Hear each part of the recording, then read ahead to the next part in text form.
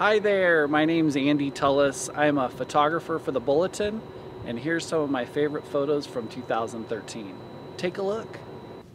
Here we see first and second grade students basically doing what kids do during recess and just blowing off steam, having as much fun as they can during the limited lunchtime recess that they get.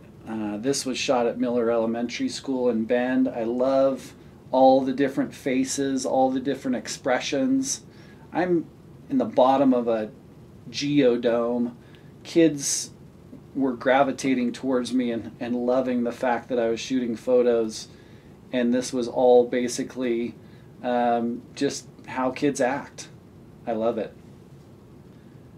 This image I really liked. It shows some tenderness between these two cowboys as they're hugging, something you don't normally see, but they're remembering their fallen friend at his funeral ceremony in Redmond. This was at uh, fallen firefighter John Earl Hammock's ceremony for his funeral, and uh, it just really brings out kind of a poignant moment. This is a nice salute from a Cub Scout as members of the junior ROTC march by at the Veterans Day Parade in downtown Bend.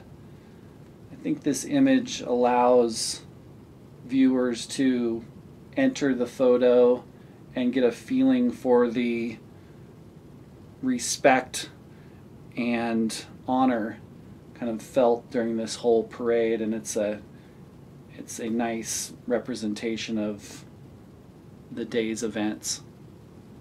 I like how in this photo the lines from the wake draw the viewer's eye towards the center and the athlete on this wake surfboard is riding almost right out of the frame into the viewer's lap.